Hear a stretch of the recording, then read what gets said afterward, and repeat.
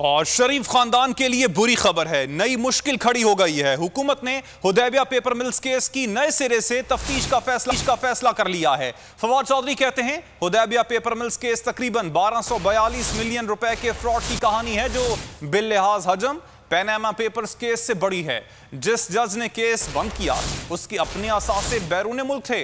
उम्मीद है अदलिया उन जजेस पर भी कार्रवाई करेगी जिन्होंने शरीफ फैमिली की मुआवनत की।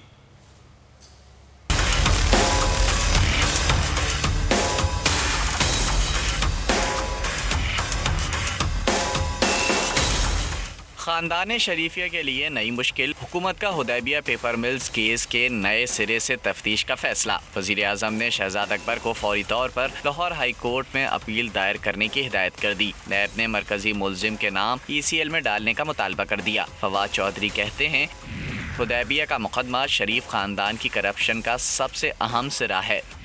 केस को अंजाम तक पहुँचाना बहुत ज़रूरी है। एक ट्वीट में उन्होंने कहा हुदैबिया पेपर मिल केस तकरीबन 1242 मिलियन रुपए के फ्रॉड का है, जो पनामा केस से भी बड़ा है।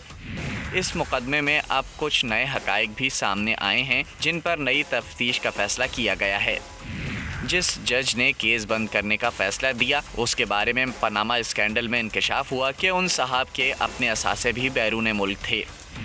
उम्मीद है, अदलिया उन जजों पर कार्रवाई करेगी, जिन्होंने शरीफ फैमिली की मुआवनत की।